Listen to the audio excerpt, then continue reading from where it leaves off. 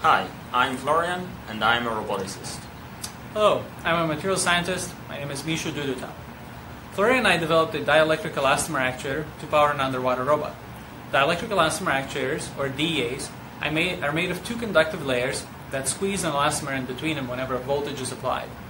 We stacked multiple actuators to achieve a soft, waterproof, and modular fin that bends left and right, like this.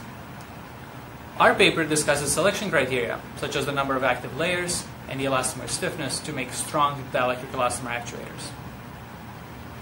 To demonstrate that dielectric actuators are ready to power untethered robots, we took our fin and mounted it on a miniature underwater robot.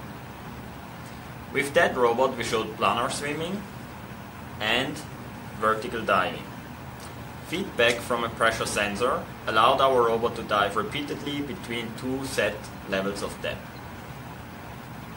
Through this automatic update of its behavior, our robot achieved a higher degree of autonomy than previous robots powered by dielectric actuators.